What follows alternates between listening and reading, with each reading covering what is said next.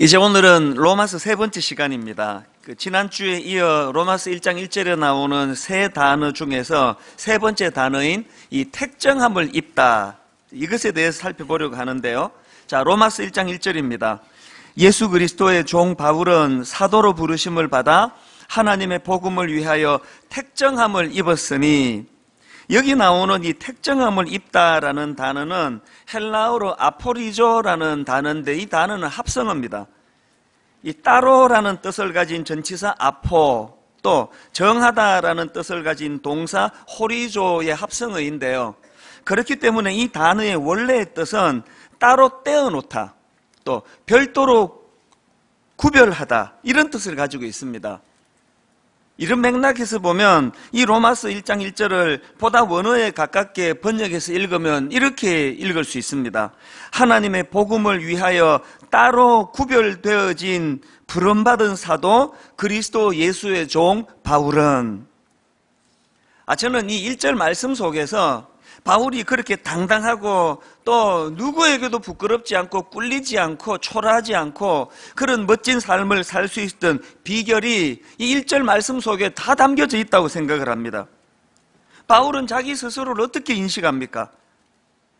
하나님께서 자기를 이런 이런 일에 쓰시려고 따로 구별해 놓은 존재이다. 이런 자기 인식을 갖고 있었기 때문에 누가 뭐라 그래도 당당하게 자기 길을 걸어갈 수 있었던 거 아닙니까?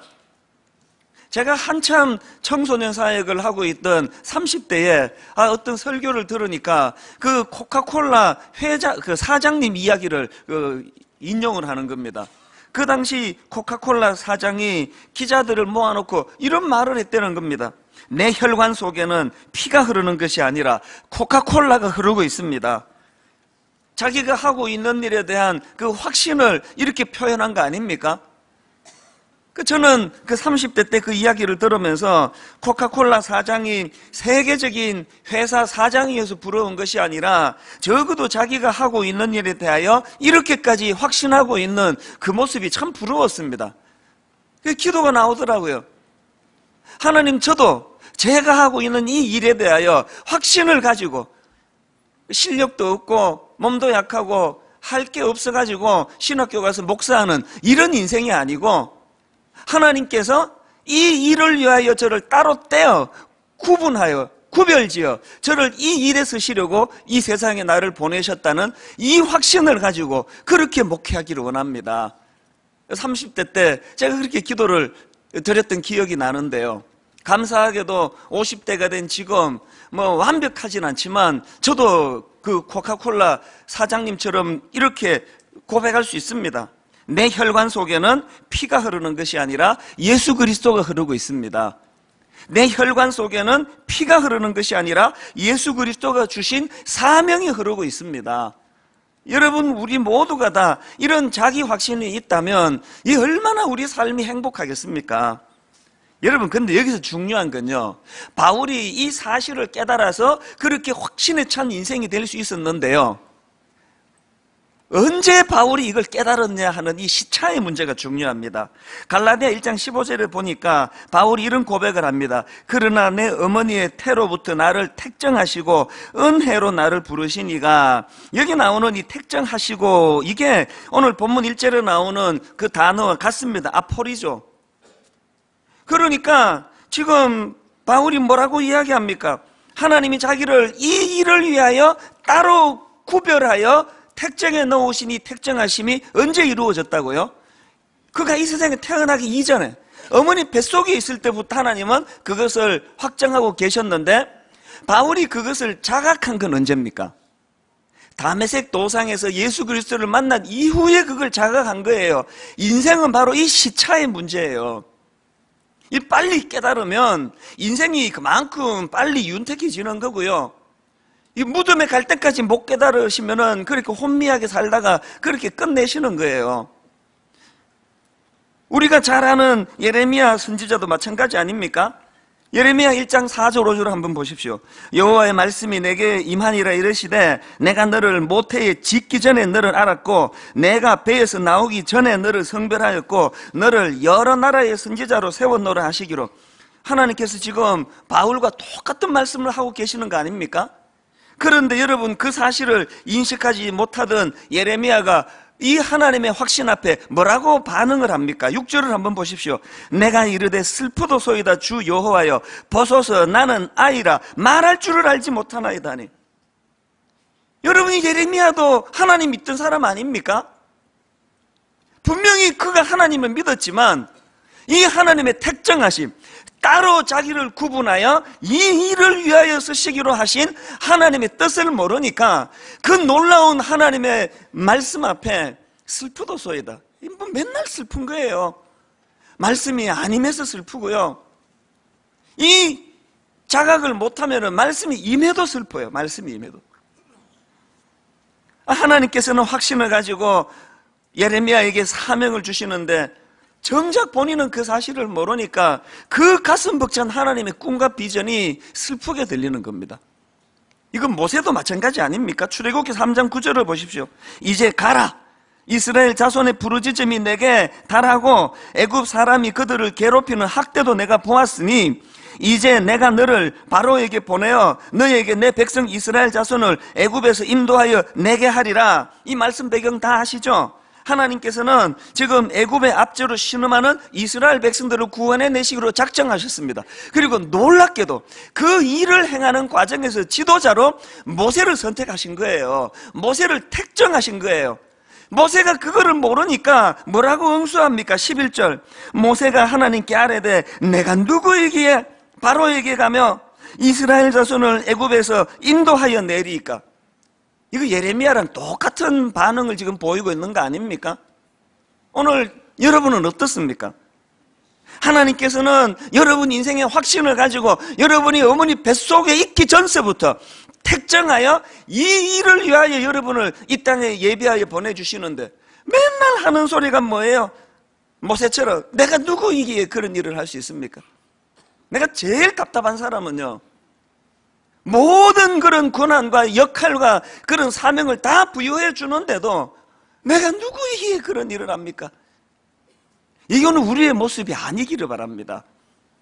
모세처럼 예레미야처럼 혼미하게 자기를 인식하고 있던 그들도 하나님 손에 붙잡힌 받고 하나님이 그들에게 말씀으로 가르쳐 주시니까 나중에 여러분 이 택정함의 비밀을 깨달았던 모세와 예레미야가 얼마나 아름답게 위대한 지도자로 쓰임 받았던 것 다 아시잖아요. 아마 주변의 사람들도 놀랐겠지만 당사자 본인들이 제일 놀랐을 거예요.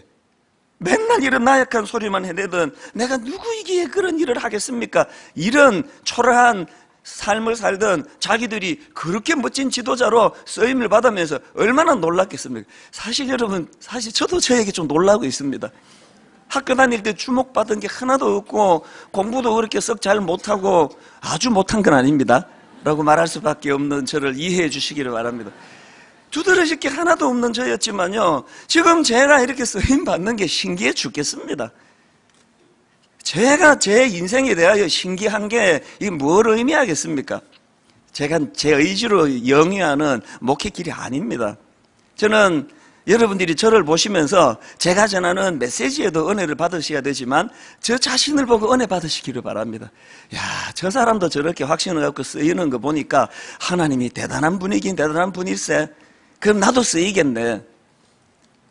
우리가 자기 인식을 제대로 할 때 하나님이 특정함을 이 일을 위하여 쓰시려고 따로 예비해 두신 이 하나님의 특정하심의 비밀을 자각하는 그 순간이 이게 영적으로 이제 철이 드는 순간이에요.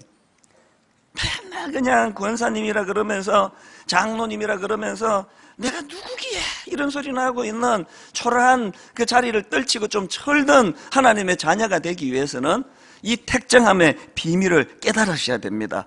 이게 왜 중요한가 하면은요. 여러분 그 빅터 프랭클 박사 아시죠?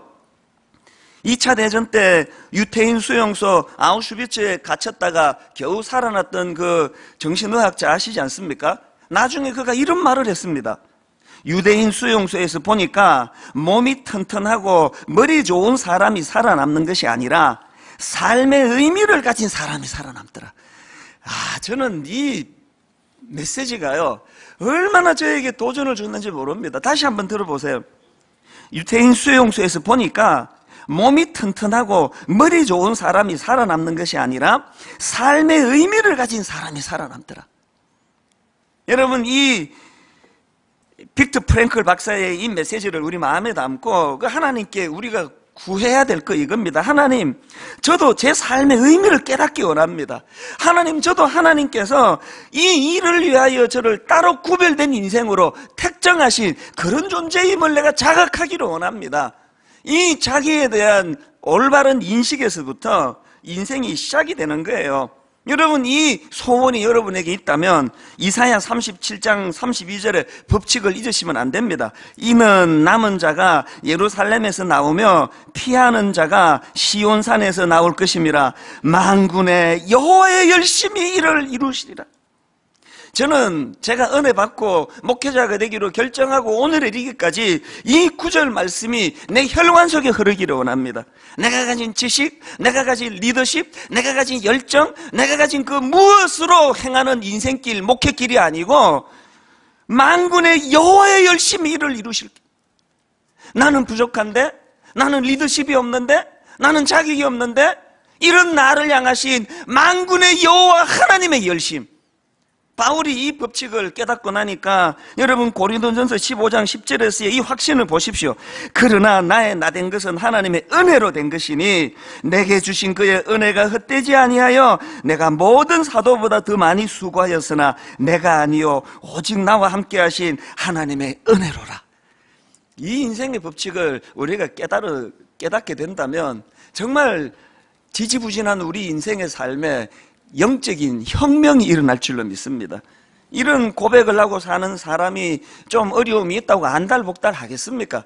이런 확신을 가지고 사는 사람이 인생에 고난이 찾아오고 어려움이 찾아올 때 그것 때문에 그냥 혼미하고 울분에 빠지고 두려워하고 그러지 않습니다. 그랬다고도 벌떡벌떡 일어날 수 있는 힘, 만군의 여호와 하나님의 열심, 저는 여러분 내면에 여러분의 혈관 속에 이 만군의 하나님의 열심에 대한 확정된 믿음, 이 믿음이 여러분의 혈관에 흐르는 원동력이 되기를 바랍니다.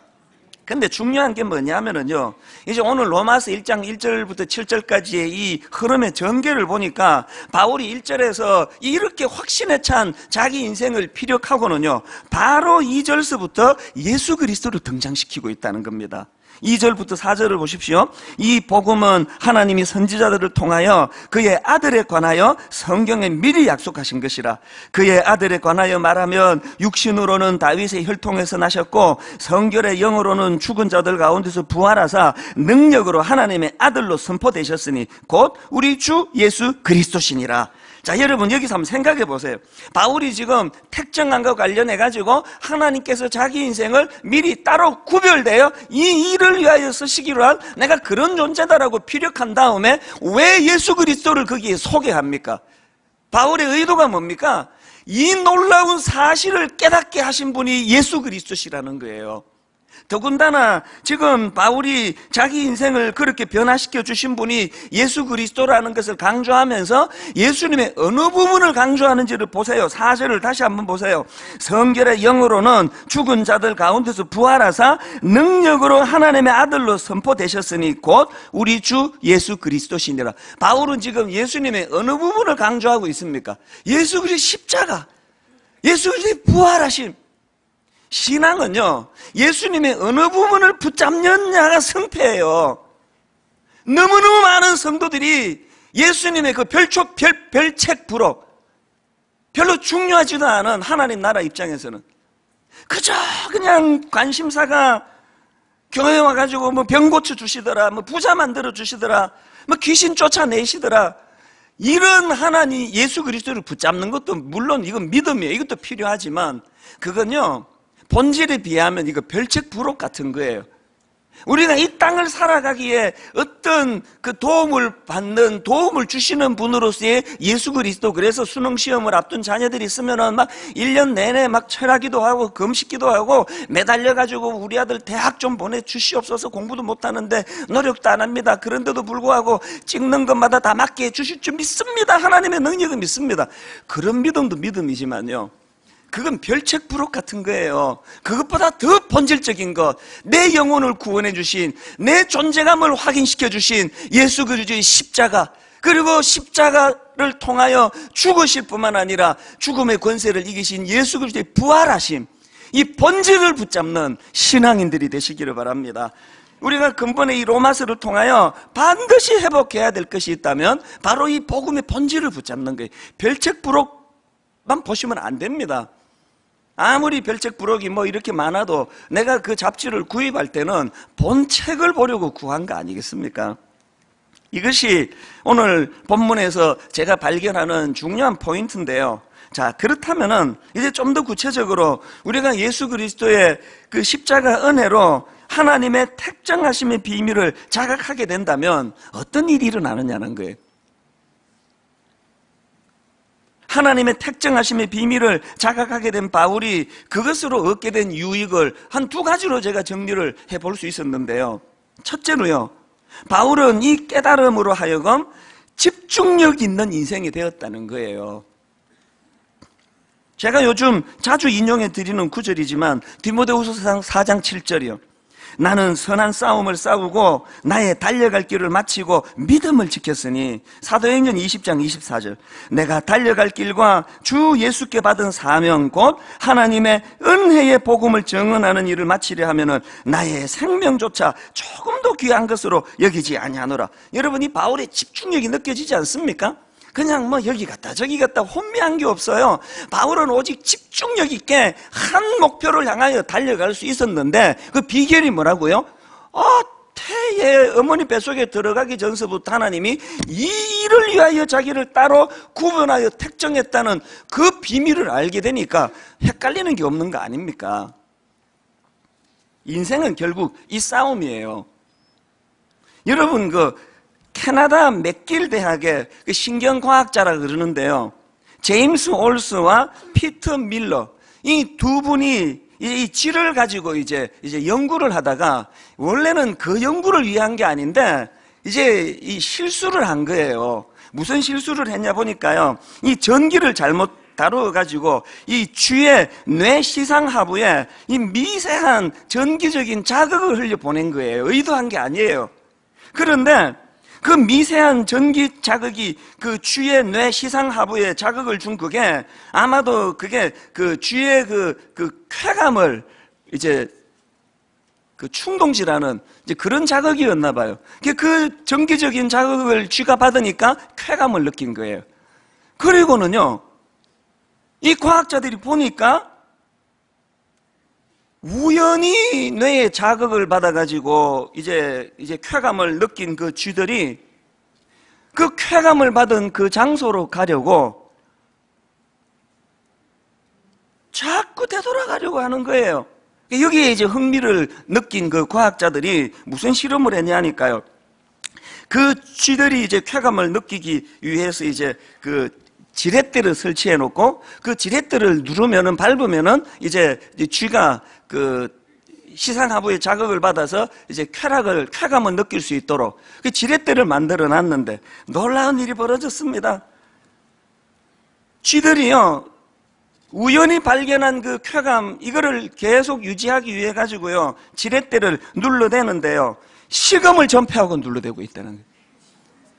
어떤 쥐는 지렛대를 누르기 위해 가지고 이제 이 바닥에다가 전류가 흐르도록 해놓고 저기에 지렛대를 이제 이제 설치해 놓으면요. 여러분 그 전류가 흐르는 데를 지나가면 그 얼마나 고통스럽습니까? 이 몸에 전기가 통하는 그런데요. 그거를 마다하지 않고 전류가 흐르는 그 바닥을 지나가지고 지렛대를 누르고요. 심지어는요. 어미쥐들은 갓 태어난 새끼들이고 뭐고 다 내팽겨치고 계속 지렛대를 두드려 댄다는 거예요. 심지어 어떤 쥐는요, 한 시간에 무려 7천 번을 두드리다 거품을 물고 쓰러지는 쥐도 있었대요. 제가 이 실험을 글을 읽으면서 어떻게 이렇게 인간 세상하고 이렇게 똑같아, 똑같아. 이게 오늘 이 시대 아닙니까? 어쩌다가 우연히 쾌락의 길을 잘못 접하고는 거기에 한번 빠져들어가면은 뭐 자식이고 뭐고 가정이고 뭐고 다 내팽겨 쳐두고 그냥 그렇게 미쳐 날뛰는 이런 주부, 이런 남편들 이야기가 하루도 끊임없이 나오고 있는 게 바로 이거 아닙니까? 그런데 여러분, 그 과학자들은요, 우연히 실수로 쥐에게 그런 잘못된 자극을 줬지만요, 오늘 악한 사단은 의도적으로 교활하게 우리를 향하여 끊임없는 이 자극 속에 빠뜨리려고 공격하고 있는 게 오늘 우리의 현실이라는 겁니다. 그래서 저는 목회자로서 가정을 수많은 가정들을 대하면서 억장이 무너져요. 어떨 때는요, 그 감정 이입이 돼 가지고 막 집에 돌아오면 너무너무 우울하고 이러다가 내가 막 우울증이 걸릴 것 같아요. 겉으로 보기에 멀쩡한 가정이 사실은 그 남편이 지금 이 지렛대 발려라고 정신이 팔려가지고 이거 어떻게 하면 좋습니까? 오늘 여기 지금 열심히 지렛대 바르면 개새 개 7천 번씩 밟고 이런 분이 이 안에 계실 거예요. 근데 글쎄 이런 시간에 예배 드리러 오시는 분들은 그런 분들이 뭐 없을 거라고 생각해요. 보통 그분들은 이 시간에 이제 자는 시간에 밤새 지렛대 밟고 이제 이 시간에 보통 자요. 모르죠, 뭐 이제 빨리 예배 드리고 또 밟으려고 지금 이제 준비하고 있는 분이 계실지 모르겠는데요. 여러분, 우리가 그 실험실에 있는 그 쥐꼴, 그게 어떻게 쓰든지 그냥 뭐 신분이고 뭐고 어미 쥐로스에 뭐 다 망가가고 막 전기가 통하든 말든 저는 오늘 하나님께서 저와 여러분에게 은혜를 주셔서 바울이 갈라디아 1장 15절에서 고백했던 것처럼 우리가 그런 시시한 그냥 지렛대나 밟으며 쾌락이나 누리려고 사는 인생이 아니고 하나님께서 내 어머니 뱃속에 있을 때부터 나를 택정하셔서 따로 구별하셔서 사명을 위하여 나를 이 땅에 부르셨다는 이 사명이 자각되는 은혜가 있기를 바랍니다. 우리가 바울을 통해 대리로 그 인생을 들여다볼 수 있는 거 아닙니까? 이 인생의 사명이 있으면요, 쾌락의 지렛대가 유혹이 유혹이 되지 않는다는 거예요. 저는 우리 성도님들에게 상처도 많이 받지만 또 우리 성도님들에게 은혜를 참 많이 받습니다. 지난 송구 영신 예배예요. 제가 이제 한, 송구 영신 예배를 한 달 정도 앞둔 12월 초라고 기억하는데 월요일에 내가 이제 등산을 하다가 무슨 생각이 들었냐 하면은 이제 송구 영신 예배가 또 다가오는데 이 귀한 성도들이 그 늦은 밤에 은혜 받겠다고 오시는데 그냥 맨날 똑같은 그런 설교 이거 이거 말고 하나님 좀 은혜 좀 주세요. 그 마음에 그런 소원을 가지고 이제 등산을 하는데 우리 하나님은요 참 신실하신 분이에요. 구하면 주세요.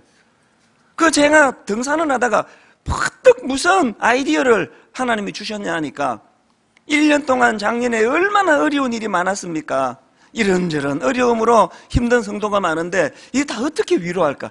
뭐한 100명 모이는 작은 교회 같으면 내가 무슨 주스 사들고 모든 가정을 다 돌고 싶은 심정이에요. 우리가 상황이 그게 안 되니까 무슨 아이디어를 하나님 주셨냐 하니까요. 이제 우리 송구영신 예배를 세 번 드리는데 각 예배 때마다 상징적으로 대표적으로 지난 한 해 유난히 어려웠던 성도님 그 가운데 믿음을 가지고 참 애쓰셨던 성도님을 좀 모셔가지고 축복해드리고 기도해드리고 그리고 또 우리 이분들 좀 교회 또 말고 좀 객출을 해가지고 이 제주도로 좀 여행도 보내드리고 그러면 좋겠다. 그렇게 해서 이제 대표적으로 이 한 분이 위로를 받지만 성령님이 송구영신 예배 나오신 모든 성도님들에게 위로해 주시는 이런 예배가 되면 좋겠다. 그래서 제가 이제 산에서 내려와가지고 메일을 보낸 거예요. 교역자들에게 내가 이런 이런 지금 생각을 하고 있으니까 어, 추천해 달라고.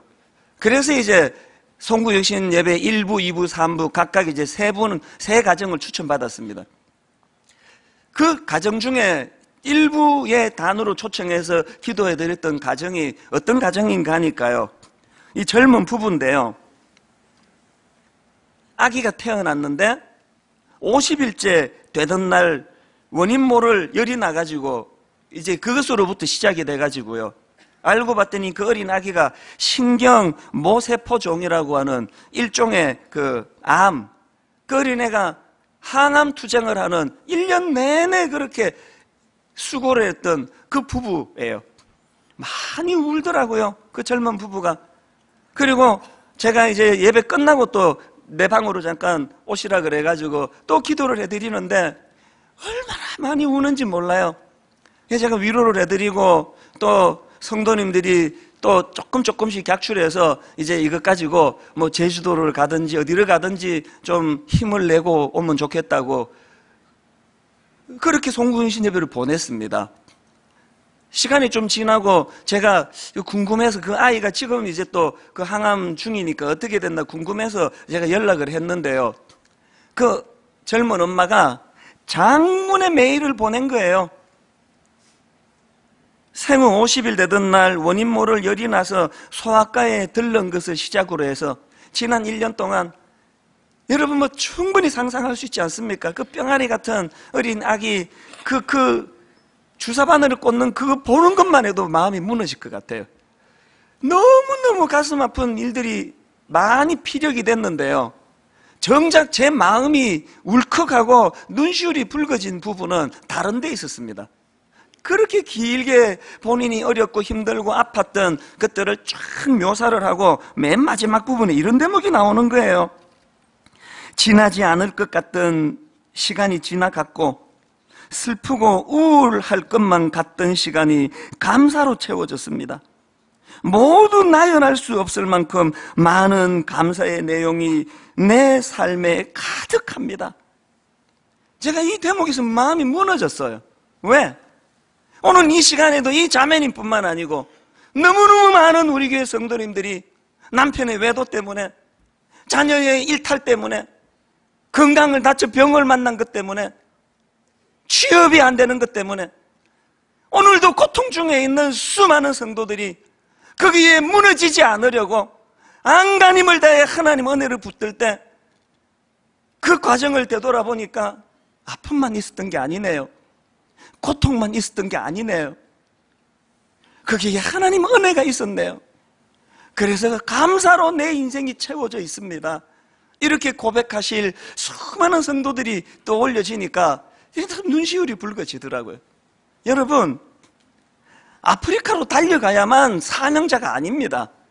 오늘 내 삶, 내 가정, 내 주변에 남들은 알지 못하지만 나만이 갖고 있는 무거운 인생의 짐 다 털어버리고 싶지만 하나님이 내게 택정함의 비밀을 주셨기 때문에 이 가정을 지켜내려고 애쓰고 수고하시는 모든 주님의 자녀들이 다 사명자인 줄 믿으시기를 바랍니다. 우리에게 이 사명이 회복이 돼야 된다는 겁니다. 그런가 하면 두 번째로 하나님의 택정하심의 비밀을 자각하게 된 바울의 두 번째 유익이 뭐냐 보니까 그것이 바울로 하여금 이 구별된 삶을 살게 만들었다는 것입니다.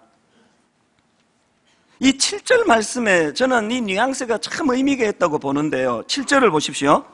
로마에서 하나님의 사랑을 받고 성도로 부르심을 받은 모든 자에게 하나님 우리 아버지와 주 예수 그리스도로부터 은혜와 평강이 있기를 원하노라.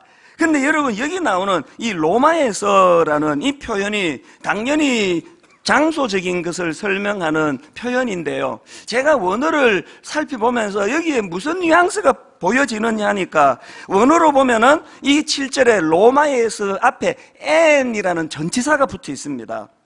그런데 이 n이라는 전치사는 무슨 뜻이냐 하니까 우리말로 치면 무엇 무엇으로부터 또 무엇 무엇에서 이런 뜻을 가지고 있는 전치사예요.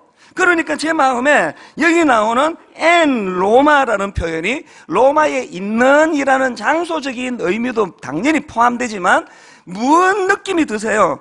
로마로부터 구별되는이라는 뉘앙스가 풍겨지는 거예요. 그러고 보니까 바울이 5절에서도 6절에서도 7절에서도 계속 이 n이라는 전치사를 사용하는 겁니다. 5절 중반에 한번 보세요. 모든 이방인 중에서 믿어 순종하게 하나니 여기 보면은요. 모든 이방인 중에서라는 표현 앞에 n이라는 전치사가 있어 가지고 n 모든 이방인 이렇게 돼 있습니다. 어떤 뉘앙스입니까? 다른 이방인들과 구별된 존재를, 지금 강조하는 거 아닙니까?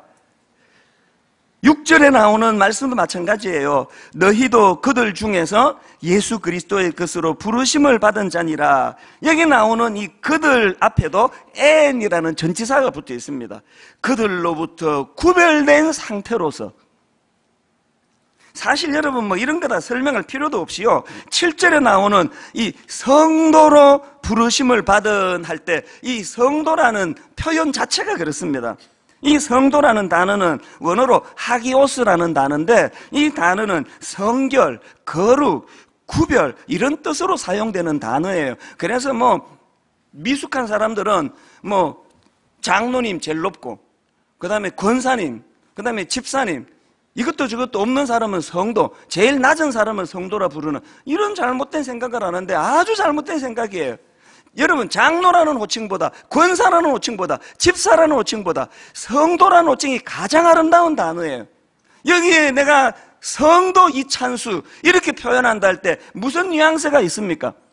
몸은 비록 내가 로마 타락한 그 땅, 로마가 성적으로 타락해서 망했다는 얘기를 하잖아요. 몸은 타락한 로마에 내가 발 담고 살아가지만 나는 로마로부터 구별된 존재. 이게 성도예요. 저는 분당 우리 교회 모든 성도님들, 여러분이 여러분 자신을 어떻게 인식해야 되느냐? 나는 로마에 몸 담고 있지만 타락한 로마에 섞여 살지 않는 로마와 구별된 하나님의 사람이다. 이런 자기 인식이 있는 여러분들 되시기를 바랍니다. 제가 최근에요. 너무너무 민망한 일을 겪었는데요. 이제 이 선교단체에서 수고하시는 목사님들은 사례비도 열악하고 일은 많고 수고를 많이 해요. 제가 아는 선교단체에서 수고하는 우리 후배 목사님들을 좀 제가 초청을 해서 내가 밥 한 번 사겠다. 또 영화도 보여주겠다. 이제 그런 거예요. 우리는 이제 술, 담배를 안 하니까 뭐 최고의 대접은 밥 사주고 영화 보여주는 거. 뭐 그게 최고예요. 이제 막 너무 거기에 이제 열받으면 이제 커피까지 사주면 이건 완벽한 이제 대접이 되는데요. 그날 제가 이제 밥도 사주고 영화도 보여주겠다고. 그러니까 좋다고 이제 이제 후배들이 왔어요. 맛있게 밥을 먹고요. 영화를 보러 갔는데 이 영화가 이게 사람을 죽이는 영화예요. 얼마나 얼마나 폭력적인지 그 그냥 뭐 조폭들이 그냥 사람을 뭐 죽였다 이 정도만 묘사해도 되는데 그렇게 상세하게 그 죽이는 걸 묘사할 필요가 있습니까? 막 하여튼 막 피가 튀고 막 그냥 막 칼 막 나오고 막 그리고 또 막 성적인 묘사가 막 얼마나 그냥 이게 무슨 뭐 포르노 보는 것 같아요. 그 내가 옆에 목사님들한테 내 눈치가 보여가지고 이 무슨 목사가 열심히 지금 주에 일하는 목사를 불러내가지고 막 그런 포르노를 방불케 하는 이런 걸 내가 보여줬다고 싶으니까요. 내가 좌불안석이 좌불안석. 근데 정말 무서운 게 뭐냐면은 그 좌불안석이면서도 그 성적으로 묘사하는 그런 것들이 얼마나 잔상이 강렬한지요. 내가 너무너무 불편했어요. 그때는 제가 뒤에 또 시간이 있어가지고 커피까지 살 마음은 없었는데 너무 미안해가지고 내가 차 한잔하고 가자. 그 커피숍에 가가지고 내 사과했습니다. 내 진짜 미안한데 나 정말 전 내용 몰랐다. 내가 알았으면 안 봤을 텐데 너무너무 미안하다고 내가 이 용서를 빌었어요. 그 제가 깜짝 놀랐던 게요. 지금 이 시대가 지금 이 문화라는 이름으로 이게 완전히 지금 정상이 아니에요, 이게. 근데 내가 제목을 안 가르쳐 드리는 이유가 어? 그런 게 있었나? 이번 설날 때 보러 가야 되겠군. 네, 이러실까봐 내가 안 가르쳐 드리는 거예요. 그 보지 마셔요. 그제 그 영화를 보고 마음이 힘든 거예요. 우리 젊은이들이 지금 노출되어 있는 이 로마의 문화가 어떤 것인가? 얼마나 참아내야 되는 게 많은가? 그 내가 영화를 보고 나서 이렇게 떠오르는 그 최근에 어떤 우리 교회 자매가 제게 긴급한 메일을 하나 보내왔는데요. 참 귀한 자매예요. 아, 20대 어린 자매가 지금 미국의 봉사활동 단체에 가가지고 지금 공부를 하고요. 이 공부가 끝나면 지금 장기간으로 아프리카로 봉사활동을 떠나는 그런 프로그램에 참여하고 있는 우리 자매가 있어요. 젊은 대학생 자매예요. 이 자매가 얼마나 귀합니까? 요새 이 젊은 사람들이 그저 이기적이고 자기밖에 모른다고 걱정하는 시대인데 이렇게 이타적인 삶을 사니까 얼마나 귀해요. 그리고 그 세계 각국에서 이런 가치 있는 일을 하려고 모여든 사람이니까 그 사람들이 얼마나 그 고상한 사람들이겠냐고. 그런데요. 제가 메일을 보고 참 놀랐던 게 뭐냐 하니까 편지에 이런 내용이 있습니다. 한번 들어보세요. 그렇게 귀한 봉사자들이 모인 모임인데도 불구하고 기숙사에서 사는데 사귀기 시작하면 방을 같이 써요. 굳이 아무 사이가 아니어도 눈이 맞으면 관계를 맺고 말 그대로 혼돈 속에 제가 덩그만히 있어요. 이 자매가 혼란에 빠진 거예요. 이거 뭐 그냥 뭐 남자고 여자고 없이 눈 맞으면 같이 아예 한방 동거하고 막 이런 게 벌어지고 있는데 왜 저에게 긴급히 SOS를 보냈냐 하니까요.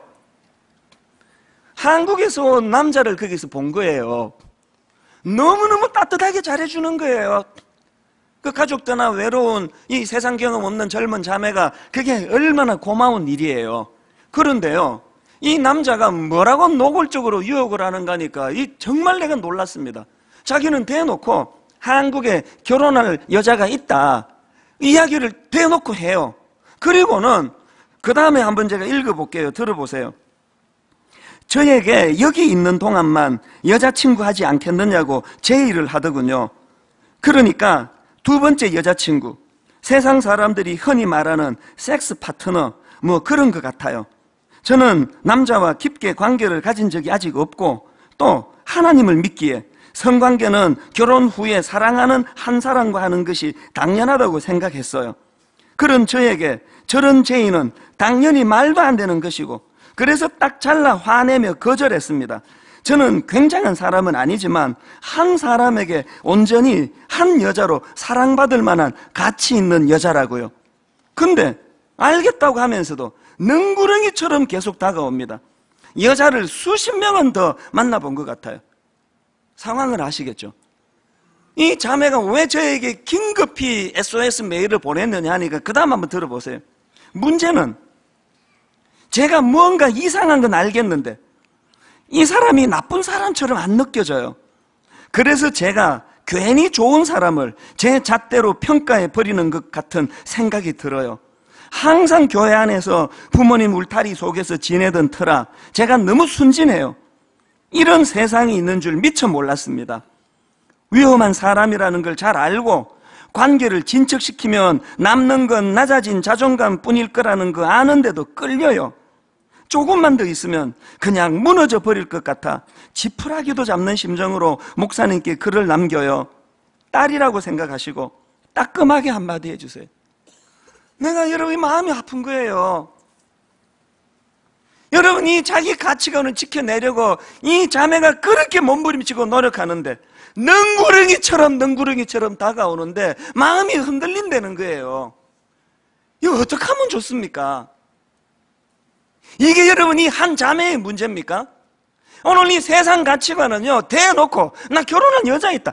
옛날에 우리 때도 이런 저질들이 있었지만요, 최소한의 양심은 있어서 그 숨기고 그런 짓에 숨기고, 이 대놓고, 어, 나 결혼할 여자 있다.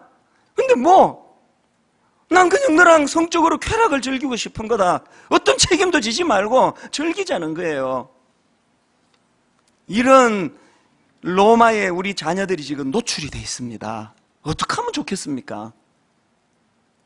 왜 여기에 우리 신앙 가진 젊은이들이 다 무너집니까? 여러분 저는 그래서 이렇게 하나님 앞에 기도합니다. 아버지 이제 분당 우리 교회 이 로마서를 선포할 때 로마서를 가지고 말씀을 나누어 볼 때 하나님 누가 병나 나았답니다. 누가 기도해서 뭐 무슨 아들이 뭐 좋은 대학 갔답니다. 누가 뭐 기도해가지고 뭐 부자 됐답니다. 이런 별책 부록을 붙잡는 신앙인이 아니고 아버지 복음의 본질 예수 그리스도의 십자가 예수 그리스도의 부활하심 내 영혼을 주장하시는 주님의 복음을 붙잡는 교회가 되기를 원합니다. 우리 어른들이 먼저 이 능력을 경험하셔야 돼요. 수많은 이 로마에서 일어나는 타락한 유혹 가운데 내가 복음 대신 예수 그리스도를 본질을 붙잡았더니 그래서 혼미한 내 인생에 따로 구별하여 어머니 뱃속에서부터 이 일을 위하여 이 가치 있는 일을 위하여 나를 택정하여 보내주신 그 하나님의 신비를 내가 경험했기 때문에 나는 변질될 수 없다. 나는 로마에 몸담고 살지만 나는 로마에 속한 인생이 아니다. 어른인 저와 여러분이 먼저 이 확신을 경험하게 되시기를 바랍니다. 이 확신을 가지고 자녀에게 가르쳐야 돼요. 네가 그 저질 남자 유혹을 이겨내는 걸 목표로 삼지 말고 그 남자를 변화시켜라. 그 썩어 빠진 가치관을 가진 그 남자가 얼마나 결혼할 그 여자에게 더럽고 무서운 죄를 짓는가를 네가 자각시키고 그래서 로마를 네가 변화시켜라. 여러분 이 꿈을 다 잃어버린 게 한국 교회예요. 그저 한국 교회 이제 사고 안 치고 문제 안 생기고 현상만 유지하면은 더 이상 바랄 게 없는 것 같은 저부터 회개합니다. 하나님 이 세상에 위축되지 아니하고 저는 어머니 뱃속에서부터 따로 이 사명을 위하여 구별되어 주님께서 관리해 주신 특별한 하나님의 사람입니다. 아버지 제가 그저 죄 안 짓고 은퇴할 때까지 사고 안 치는 그것을 목표로 하는 목사가 아니고 이 타락한 로마를 뒤집어 놓고 로마를 변화시키고 복음이 그것을 가능케 한다는 이 확신을 전파하는 종이 되기를 원합니다. 그런 성도님들이 모인 교회가 되기를 바랍니다. 오늘 결론을 맺으면서 여러분 이런 차원에서 우리 한번 이 선포 너무너무 잘 아는 찬양이지만 처음 부르는 것 같은 감격을 가지고 이렇게 노래하기 원합니다. 수많은 무리들 줄지어 그분을 보기 위해 따르네. 육안으로 보면 평범한 목소에 불과하신 그분이지만 영안을 열고 그분을 볼 때 혼미한 내 인생을 변화시키는 구원자 되심을 내가 고백하기를 원합니다. 가사를 생각하시면서 이렇게 힘있게 선포하기 원합니다. 수많은 무리들 줄지어 그분을 보기 위해 따르네. 겉으로 보기에 평범한 목수이신 그분 앞에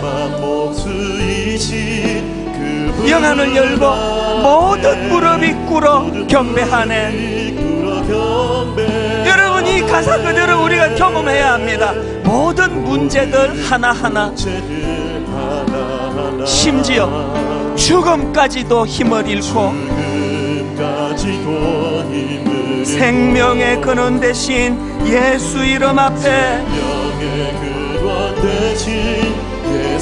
모든 권세들 굴복하네. 하나님 이 놀라운 영적 비밀을 깨닫고 경험하기 원합니다. 예수 이름 높이세.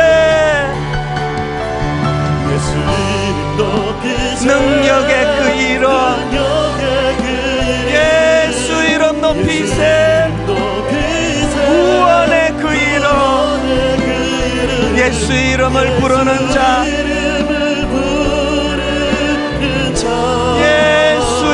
믿는 자. 예수 이름 앞에 나오는 자. 이름 앞에 나오는 복이 자 있도다. 복이 있도다. 나의 계획이 실패하고 나의 계획이 여러분 내 열심으로 되는 게 아닙니다. 나의 소망이 끊어질 때 내 열심이 아닌 하나님의 열심 삶의 주관자 대신 그분 앞에 나의 무릎을 꿇어 경배하네. 여러분 이렇게 선포하시기 원합니다. 나의 삶을 그분께 맡길 때 이거 경험하십니까? 비로소 나의 마음 평안해 구원의 반석 대신 예수의 이름을 소리 높여 찬송하네 예수 이름 높이세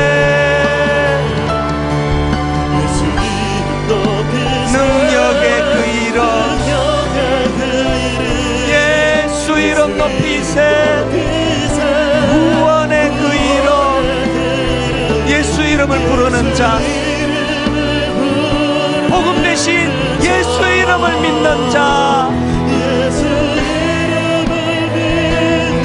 복음 대신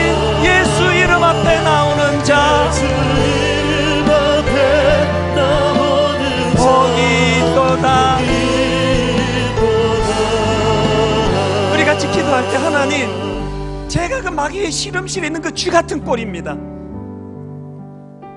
그 지렛대를 밟으려고 7천 번씩이나 밟다가 뒤로 꼬꾸라지는 그 꼴이 오늘 저의 모습입니다.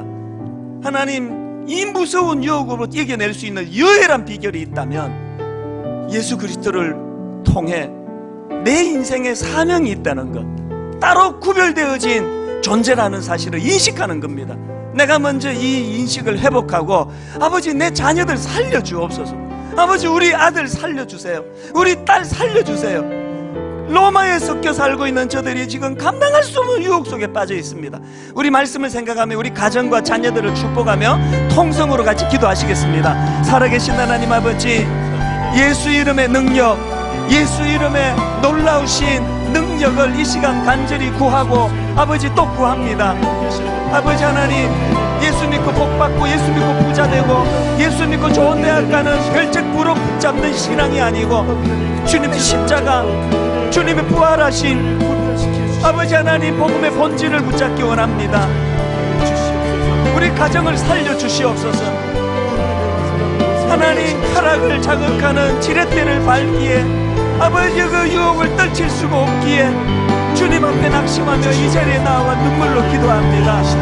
아버지 하나님 그 끔찍한 유혹에 능력이 나타나기를 원합니다. 유혹을 이겨내기를 원합니다.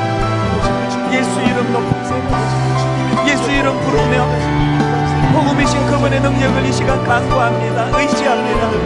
하나님 은혜 주시옵소서. 역사하신 주의 이름을 고백합니다. 그 의미가 지금 해결시켜 하나님의 하나님 계속 기도하실 분 계속 기도하시고 우리 확신을 가지고 다시 한번 선포합니다. 예수 이름 높이세. 예수 이름 높이세 능력의 그 이름. 능력의 그 이름 예수 이름 높이세.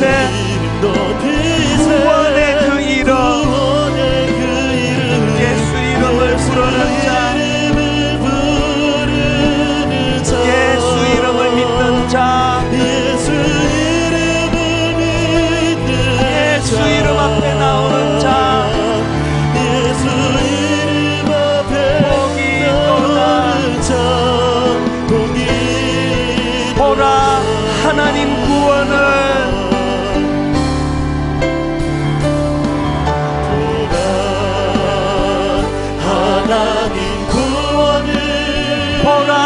하나님 능력을 너희를 위해서 싸우시는 주의 손을 보라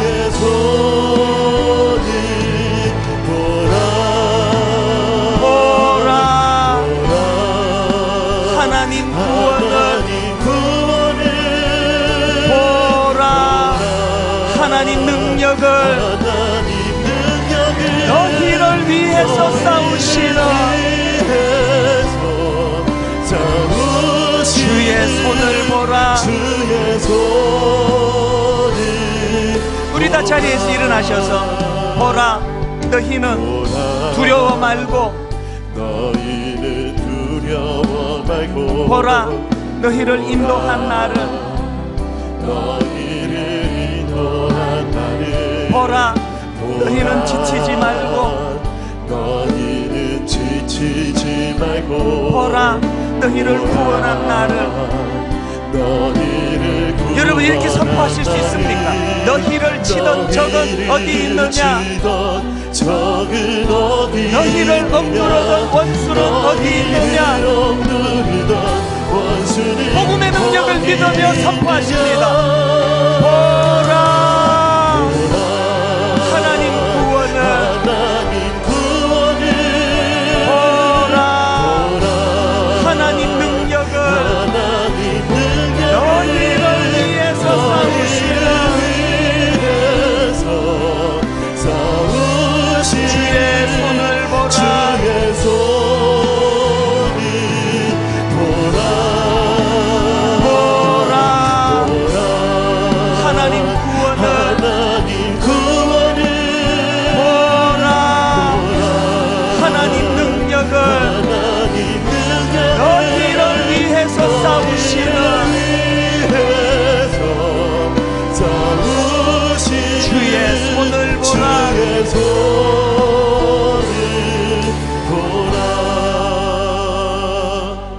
내가 달려갈 길과 주 예수께 받은 사명 곧 하나님의 은혜의 복음을 정언하는 일을 마치려 하면은 나의 생명조차 조금 더 귀한 것으로 여기지 아니하노라.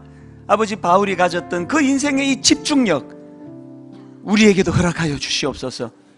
비록 몸은 로마에 몸담고 있지만 로마의 영향을 받지 않는 로마와 구별된 성도들을 향하여 바울이 편지를 썼던 것처럼 오늘 우리 그리스도인들이 타락한 이 땅의 영향력 아래 놓여 있는 것이 아니라 하나님의 영향력 아래 놓인 하나님의 자녀들 되게 하여 주시옵소서.